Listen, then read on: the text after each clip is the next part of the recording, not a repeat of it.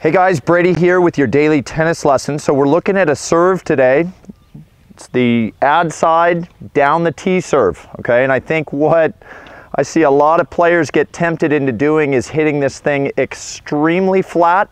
And my suggestion to you guys is hitting a little more of a, you know, kind of a hybrid hard slice.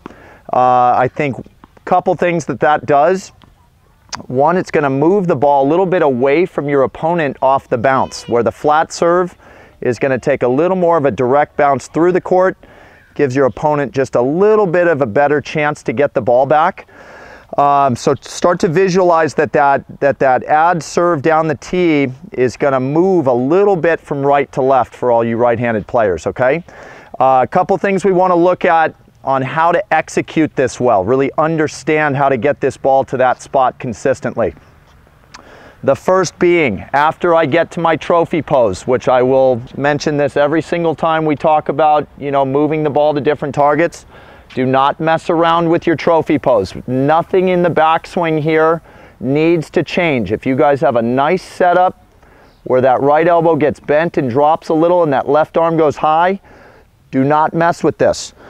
From this position, the toss, in order to have a good, you know, little bit of movement down the middle of the court, we want that toss definitely out to about one o'clock, okay? Because that gives us a, a better chance to get the strings a little bit more to the right side of the tennis ball. For all you players that have been hitting, you know, you're down the T serve on a 12 o'clock toss, you know, that's that ultra flat ball, which, you know, it's not a mistake. I know you guys can hit that really hard, but again, I just think there's a huge bonus in, in getting that ball to move away from your opponent. So let's start to really work the toss on this serve to about one o'clock, which means my racket path to the ball is kind of just that standard, um, you know, clearance move where I'm just getting the shoulders to unleash and I'm trying to really work, you know, just a little bit off the right side of my body.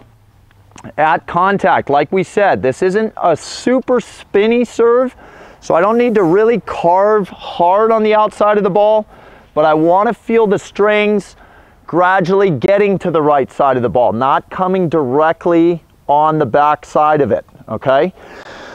So without further ado, let's take a look at a couple serves on the ad side that go down the T. Here we go.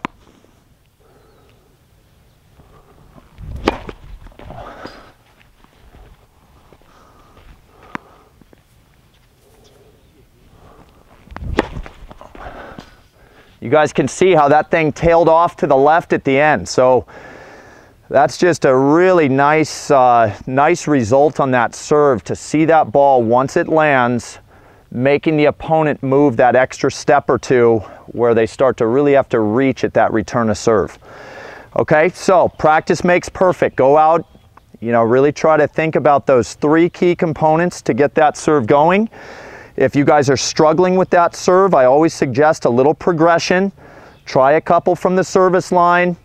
If you're having success there, make your way back a little bit. Try a couple from no man's land. And I think getting that nice visual of seeing the ball get to your target consistently will really make it easy to then start to execute those from the baseline really well. All right, so that's all I got for you guys today. Please click like below this video, and if you happen to be watching on YouTube, please subscribe to our channel. Thanks, and we'll see you soon.